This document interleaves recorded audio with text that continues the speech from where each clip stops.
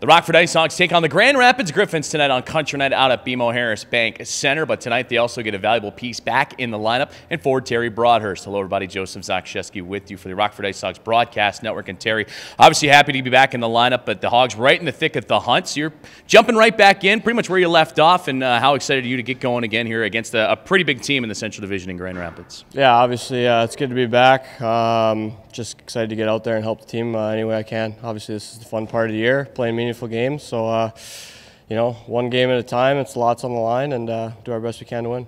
Now you've seen this Hogs bunch a lot this year in terms of how they've been able to battle through a lot of different situations. They got some teams right behind them in the rearview mirror in terms of the standings, obviously looking to gain some ground. How do you keep that mental preparation moving forward? Obviously, if you ask the coaching staff, you've been playing playoff hockey since December. So how do you keep that train continuing to push forward?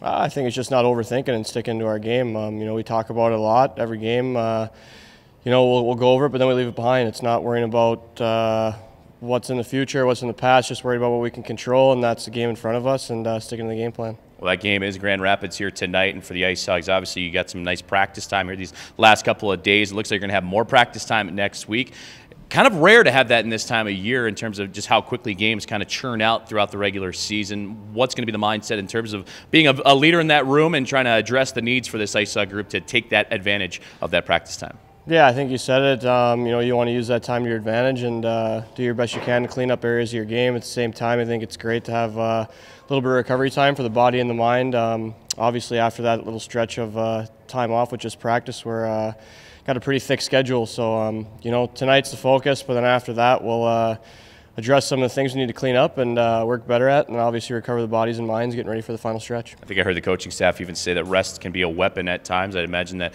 guys in that locker room are using, utilizing that when it's given to them. Yeah, absolutely. Like you said, it's not too often you get that type of uh, stretch where you're not playing games. So, you know, that's the key is using that to your advantage. And, uh, you know, it's going to be a dogfight to the end. So we need to take care of that and uh, take care of ourselves with time off. Well, it is officially the month of March, which means it's playoff stretch time. You got a lot of pundits and media members like myself keeping an eye on the standings and the points and all the ifs and what happens. But is that something that happens in the locker room? Do you open up the stat sheet and say, okay, hey, we got this much of a lead, or we got this team playing tonight, but maybe these guys got games in hand? How does the locker room approach it? Uh, a little bit. Um, again, you know, there's just certain things you can't control, and that's whether or not the teams that are chasing you win or lose, right? So to spend too much time focusing on that takes away time from you focusing on what your job is and. Uh, individually, what you contribute to the team, and as a team, just uh, controlling what you can control to play your best hockey. And you know, we think if we do that, we're going to win majority of our games. So.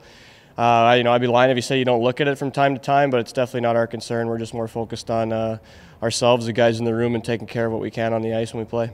Well, Terry, I appreciate your time. Good luck tonight against the Griffins. Thank you. For Terry Broadhurst joining us on the Rockford Ice Hogs broadcast network, puck drop just right around the corner as the Ice Hogs host the Griffins on Country Night here at BMO Harris Bank Center. You're listening and watching Rockford Ice Hogs hockey on the Ice Hogs broadcast network.